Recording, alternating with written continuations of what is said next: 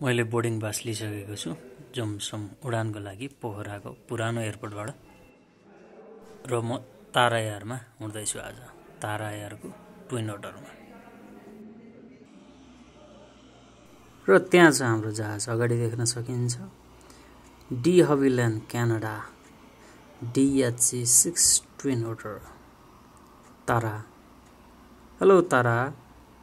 ल अगाडि देख्न सक्छौँ हामी ताराको जहाज।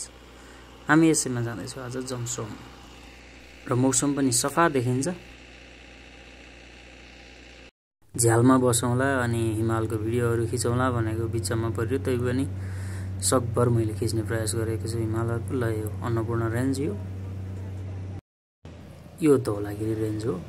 अनि हामीले यता अगाडि हो यो देख्न सक्छौँ। यो धौलागिरी हिमाल हो। हामी निरन्तर झमसमतर्फ अगाडि बढ्दैछौँ। आगामी दिनहरूमा झ्यालमा बसेर अझ दामी भिडियो खिच्नेछु म। अनि अपलोड गर्छु।